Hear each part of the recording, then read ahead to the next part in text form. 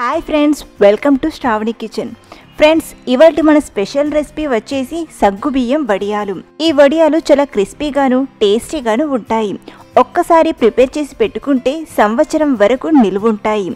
ముందుగా సగ్గు బియ్యం వడియాలు చేయడానికి ఒక కప్పు సగ్గు బియ్యం ఒక బౌల్లోకి తీసుకోండి. రెండుసార్లు శుభ్రంగా వాష్ చేసి తీసుకుందాం. ఒక కప్పు సగ్గు బియ్యానికి ఒక కప్పు వాటర్ వేసి ఒక రెండు గంటలు నానబెట్టండి. రెండు గంటల తర్వాత చూస్తే సగ్గు బియ్యం బాగా నానాయి.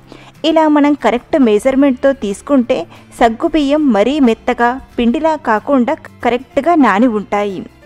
ఇందులోనే రుచికి సరిపడా ఉప్పుని తీసుకుందాం. ఉప్పుని మరీ ఎక్కువగా కూడా యాడ్ చేయకండి. వడియాలు ఎండలో ఎండేసరికి కాస్త సాల్టీగా అవుతాయి. అలాగే అర టీ స్పూన్ జీలకర్ర వేసి బాగా మిక్స్ చేయండి. మీరు కావాలంటే ఇందులో ఒక రెండు మూడు పచ్చిమిర్చీలను పేస్ట్లా చేసి కూడా యాడ్ చేసుకోవచ్చు. పచ్చిమిర్చి పేస్ట్ని వేసినా టేస్టీగా చాలా బాగుంటాయి. ఇప్పుడు ఇడ్లీ పాత్రలోకి ఒకటిన్నర గ్లాస్ వాటర్ని తీసుకొని వేడి చేయడానికి గ్యాస్ ఆన్ చేసుకుందాం.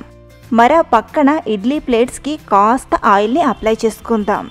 ఇలా ఆయిల్ని అప్లై చేశాక ఇందులో సగ్గుబియ్యం మిక్స్ని పెట్టి పల్చగా స్ప్రెడ్ చేయండి. వీటిని ఎంత పల్చగా చేసుకుంటే అంత తొందరగా ఎండలో ఎండుతాయి. ఇలా పల్చగా రౌండ్ షేప్లో వచ్చేట్లు వడియాలు ప్రిపేర్ చేయండి.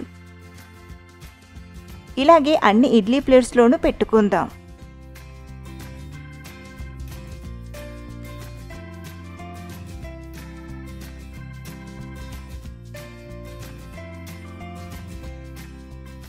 చూడండి వాటర్ వేడయ్యాయి.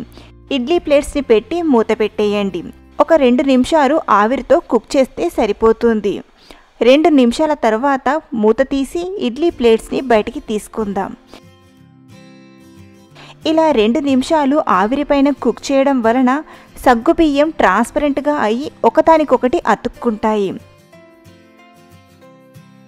ఇవి కాస్త చల్లారిన తర్వాత ఇడ్లీ ప్లేట్స్ నుండి తీసి వేరొక ప్లేట్లోకి తీసుకోండి.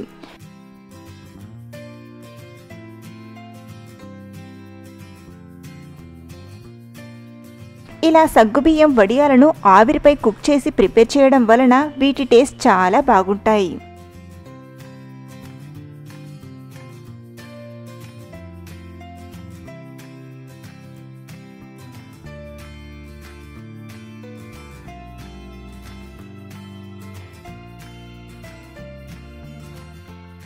ఇలాగే మిగిలిన సగ్గుబియ్యం మిక్స్ని కూడా ఆవిరిపైన ఒక రెండు నిమిషాలు ఉడికించి తీసుకోండి. వీటిని ఒక రెండు రోజులు ఎండలో ఎండబెడితే సరి. చూడండి రెండు రోజుల్లో ఎలా డ్రైగా గట్టిగా అయిపోయాయో. ఇలా బాగా ఎండిన తర్వాత వీటిని ఎయిర్ కంటైనర్ డబ్బాలో వేసి స్టోర్ చేసుకుంటే చాలా రోజుల వరకు నిలువుంటాయి ఒక రెండు నెలలకు ఒకసారి కాసేపు ఎండలో పెట్టి స్టోర్ చేసుకుంటే పాడవకుండా ఉంటాయి. వీటిని ఫ్రై చేసి చూపిస్తాను. వేడి వేడి ఆయిల్లో వేసి రెండు పక్కల ఫ్రై చేసి తీసుకుంటే సరి.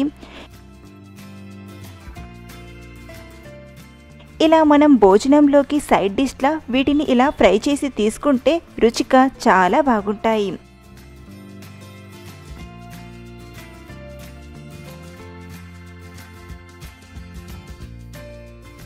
అలాగే వీటిపైన కాస్త కారం చాట్ మసాలా చల్లి ఈవినింగ్ స్నాక్స్లా కూడా తినేయచ్చు.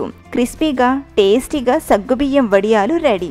సో ఫ్రెండ్స్ ఈ సగ్గుబియ్యం వడియాలు మీకు నచ్చితే ఈ సమ్మర్లో వీటిని తప్పకుండా ప్రిపేర్ చేయండి. సంవత్సరం వరకు ఫ్రెష్గా ఉంటాయి. ఈ రెసిపీ మీకు నచ్చితే ఒక లైక్ చేయండి. అలాగే మీకు తెలిసిన వారికి ఈ వీడియోని షేర్ చేయండి. మరిన్ని టేస్టీ అండ్ వెరైటీ రెసిపీస్ కోసం మన శ్రావణి కిచెన్ ఛానల్ని సబ్స్క్రైబ్ చేసుకోండి. Thank you for watching.